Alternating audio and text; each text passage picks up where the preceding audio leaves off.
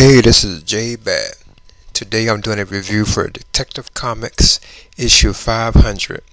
The title for this storyline was To Kill a Legend, and it was released in 1981. Now this story opens with another retelling of Bruce Wayne's parents being murdered. Now this time there's like differences. When Joe Chill shoots shoots uh, Thomas Wayne, he also shoots Martha Wayne. You know, originally it was just Thomas Wayne who was shot, and Martha Wayne died from a heart attack. So right there, you could tell that they were starting to do it kind of different. They had both of Bruce's parents being shot. You know. But this time it turns out that Bruce is just dreaming about his parents being murdered again. So when he wakes up, he decides to go out in Gotham City and Robin joins him, you know, the Dick Grayson Robin.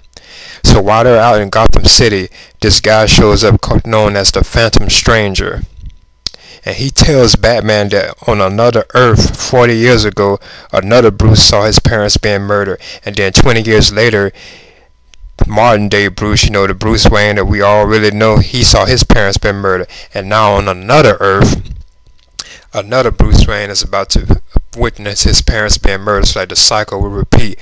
So uh, he convinces Bruce Wayne to travel with him to another planet to stop it and Dick also travels with uh well Robin he also travels with Batman. And then in the other Earth, Gordon is a lieutenant, uh, a lieutenant, and not Commissioner Gordon.